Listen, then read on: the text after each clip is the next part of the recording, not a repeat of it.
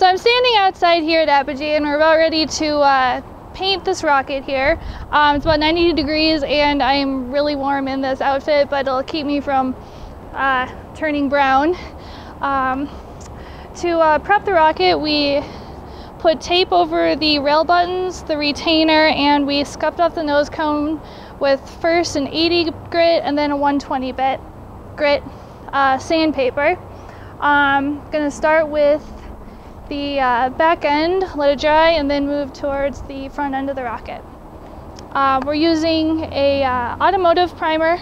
Uh, you can use whatever you're comfortable with or whatever you have around, uh, so don't feel obligated, I guess. So uh, let's get started with that.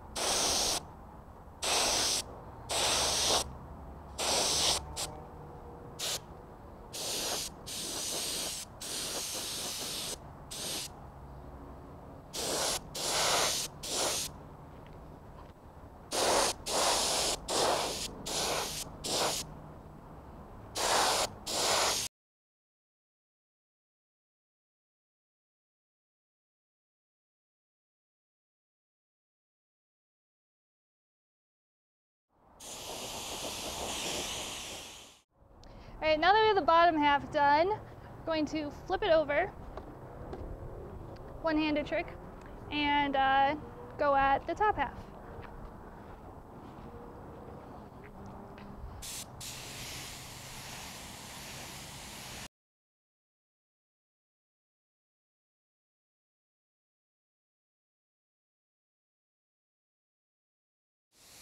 The texture of the nose is going to be a little crazy, so uh, don't freak out. It'll all sand out in the end. Just got to layer the paint on real thick so, to help it even it out.